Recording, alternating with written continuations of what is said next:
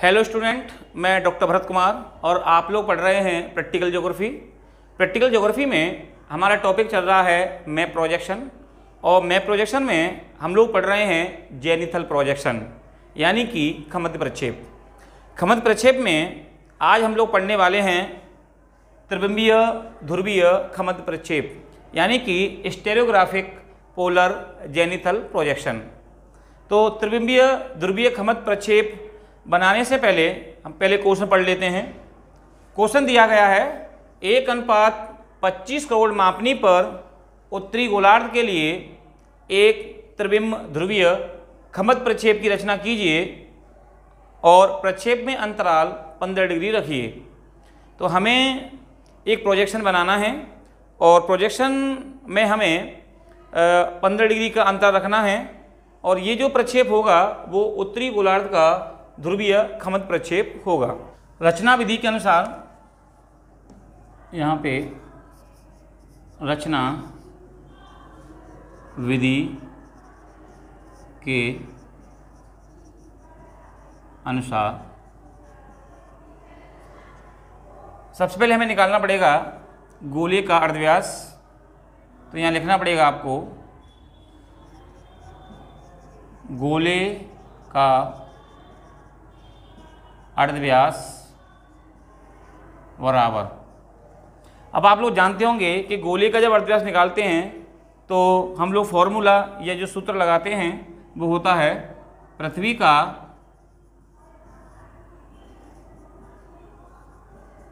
वास्तविक अर्धव्यास बट्टे दी गई प्रदर्शक भिन्न का हर। तो गोले का जो हम अर्धव्यास निकालेंगे तो गोले का अर्धव्यास बराबर तो यहाँ लिख लेता हूँ आर बराबर। पृथ्वी का वास्तविक अर्धव्यास तो जब हम मैं हम लोग इसको सेंटीमीटर में निकालते हैं तो पृथ्वी का जो वास्तविक अर्धव्यास होता है, वो होता है तिरसठ करोड़ पचास लाख। और अगर हम लोग इसको इंचों में निकाल रहे हैं तो वो होता है पच्चीस करोड़ इंच। तो हम इसको सेंटीमीटर में सॉल्व कर रहे हैं। तो हमें लिखना होगा, पृथ्वी का वास्तविक अर्धव्यास कितना है? तो तिरसठ करोड़ पचास लाख बट्टे। अब दी गई जो प्रतिशत भिन्न का हर है तो आप ये कहेंगे क्वेश्चन में देखो, ये दी गई भिन्न होती है, ये अंश होता है एक और ये हर होता है तो हर दिया गया है पच्चीस करोड़। तो हम यहाँ पे नीचे पच्चीस करोड़ इसके लिख लेते हैं। जब आप इसको यहाँ से सॉल्व करेंगे तो इसमें भाग देने पर इसका जो आंसर आएगा, वो आएगा 2.54 सेंटीमीटर यानी कि गोले का जो अर्धव्यास है, वो निकल के आएगा दो पॉइंट चौवन सेंटीमीटर तो अभी हम, हमने रचना विधि के अनुसार या क्वेश्चन के अकॉर्डिंग जो इसका आर निकाला है या गोले का अर्धव्यास निकाला है, वो दो पॉइंट चौवन सेंटीमीटर आया है, अब हम यहाँ पर प्रोजेक्शन को बनाते हैं। अभी हमने जब इसको सॉल्व किया था तो गोले का जो अर्धव्यास आया है, वो आया है दो पॉइंट चौवन सेंटीमीटर।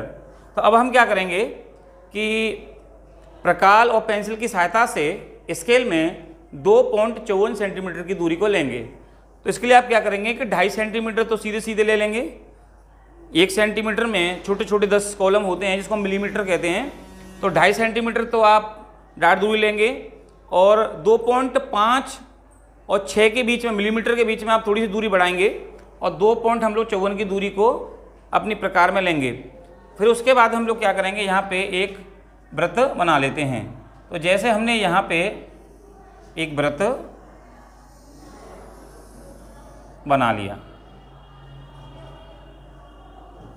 अब इसमें आप क्या करेंगे कि जहाँ पर आपकी प्रकार की नॉब है, जैसे ये सेंटर पॉइंट है यहाँ से इस गोले को आप चार भागों में बांट लीजिए। जैसे हमने इसको यहाँ पे चार भागों में इसको हमने क्या किया? बांट दिया। इसके बाद में आपको करना ये है कि यहाँ पीछे का जो इस भाग को आप लोग क्या करें, इसको उठा दें। उसके बाद में हमारे पास यहाँ पर ये आधा वृत्त बचेगा। यहाँ पे हम लोग क्या करते हैं? यहाँ पे आप ओ यहाँ लिख दें, यहाँ हम लोग ए लिख लेते हैं और यहाँ हम लिख लेते हैं एन अब आपको करना ये होगा कि ओ और ए के समानांतर आप स्केल को ऊपर बढ़ाएँ और एन से एक बिना नाप की दूरी खींचें। तो हम क्या करेंगे? ओ और ए के समानांतर स्केल को ऊपर लाएँगे और एन से एक बिना नाप की सीधी रेखा खींच देंगे। अब वो क्वेश्चन में कह रहा है आप देखिए, क्वेश्चन में कह रहा है कि प्रक्षेप अंतराल 15 डिग्री रखिए। आपको करना ये होगा कि यहाँ पर चांदी की सहायता से यहाँ 15-15 डिग्री के आपको कोण डालने होंगे। तो जैसे आप लोग जानते होंगे कि इसको हम लोग 15-15 डिग्री कोणों में इसको क्या कर लेते हैं? हम लोग इसको बांट लेते हैं। तो पहले ये हो गया 15 तीस, पैंतालीस, साठ, पचहत्तर और ये नब्बे। तो अब हमने क्या यहाँ निशान लगा लिया, आप देख रहे होंगे, ये पंद्रह डिग्री का कोण, ये तीस, पैंतालीस, साठ, पचहत्तर और नब्बे। अब आपको करना ये होगा कि यहाँ से आप यहाँ से और यहाँ पे नीचे ये जो भाग है, जैसे हम इसको एस मान लेते हैं, और यहाँ एस इस वाले सेंटर पॉइंट को टच करते हुए और ऊपर से यहाँ इन कोणों को टच करते हुए यहाँ रेखा खींचेंगे तो एस पे स्केल रखें और यहाँ पे। तो जैसे आप इसको ऐसे जब खींचेंगे तो ये भाग इसको ऐसे एस यानी कि यहाँ से हम लोग इसका क्या है, ऐसा लगता है ऐसे यहाँ से हम प्रकाश डाल रहे हैं। तो यहाँ एस से, ऐसे इसको ऐसे रखेंगे तो यहाँ पे इस वाले कोण को,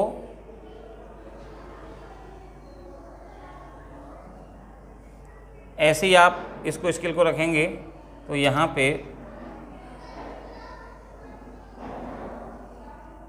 सभी कोणों को हम यहाँ पे इसको एस को और इन कोणों को टच करते हुए यहाँ बना लेते हैं।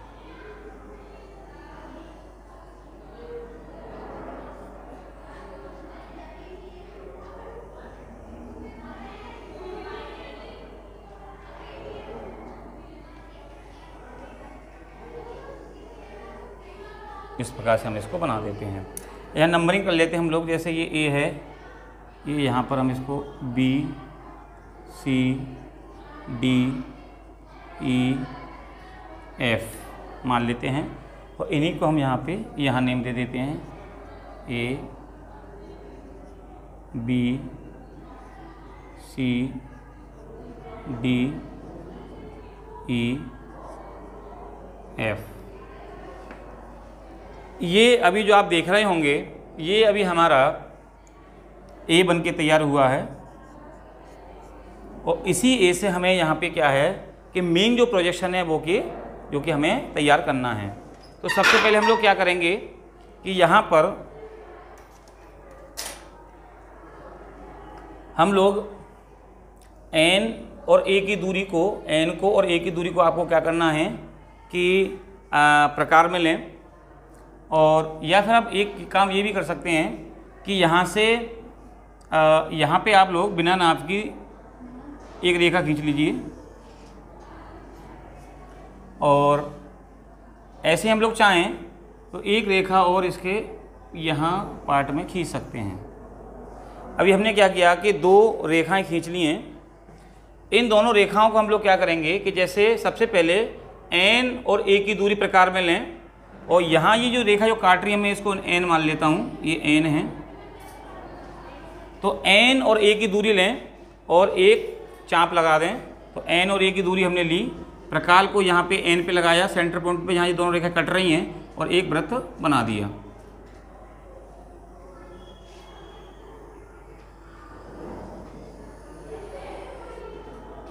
ऐसे हम क्या करें? एन और बी की दूरी लेंगे और एक दूसरा व्रत बनाएँगे।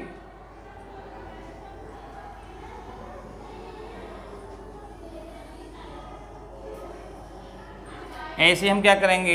एन और सी की दूरी लेंगे।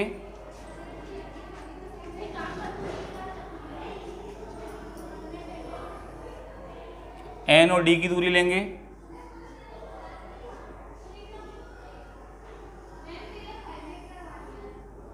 एन ई e की दूरी लेंगे। और एन एफ़ की दूरी लेंगे। इस प्रकार से आप अक्षांश रेखाओं को तैयार कर लेंगे। फिर हम लोग क्या करते हैं कि यहाँ पर जो बाहर जो एक्स्ट्रा रेखाएँ होती हैं, उनको हम लोग क्या करते हैं अभी? हटा देते हैं। सबसे पहले हम लोग क्या करेंगे यहाँ पे कि ये अक्षांश रेखाएँ अभी आपकी क्या हुई हैं, बन करके तैयार हो गई हैं। अब हम देशांतर रेखाओं को बनाएँगे। तो जैसा कि आप जानते होंगे कि टोटल 360 देशांतर होते हैं। और वो कह रहा है कि पंद्रह पंद्रह डिग्री का हमें क्या करना है? अंतर रखना है। तो इसके लिए जो टोटल है वो चौबीस रेखाएँ आपको बनानी होंगी देशांतर। अब 24 रेखा बनाने के लिए आप लोग क्या करेंगे कि चार रेखाएँ आपके पास ऑलरेडी देशांतर की हैं। तो आप क्या करेंगे कि चांदे को यहाँ रख लीजिए और इन सब में पंद्रह पंद्रह डिग्री के अंतराल पे हम लोग क्या करते हैं कि कोण बना लेते हैं। तो जैसे यहाँ पे पंद्रह, तीस, पैंतालीस साठ, पचहत्तर, नब्बे। ऐसे नीचे भी हम लोग लेंगे पंद्रह, तीस, पैंतालीस, साठ, पचहत्तर, नब्बे। ऐसे यहाँ पे आप पंद्रह, तीस, पैंतालीस, साठ, पचहत्तर और नब्बे। पंद्रह, तीस, पैंतालीस, साठ, पचहत्तर और नब्बे। ये रेखाएँ बन के तैयार हो गई हैं। अब इन्हें हम लोग क्या करेंगे? रेखाओं को यहाँ पे इस एन से मिला देंगे।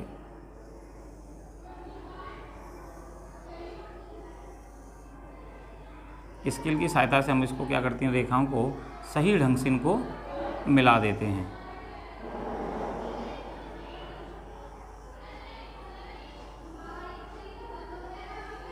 जब आप इसको स्किल से मिलाएँगे तो ये रेखाएँ काफ़ी सही और सटीक आएँगी।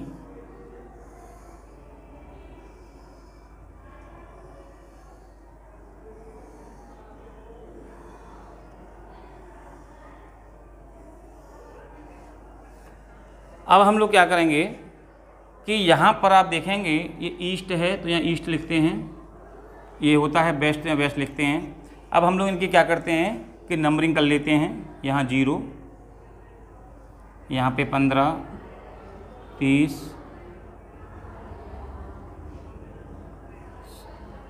पैंतालीस, साठ, पचहत्तर, नब्बे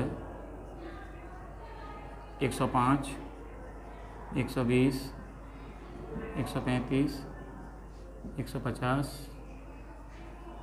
एक सौ पैंसठ, एक सौ अस्सी।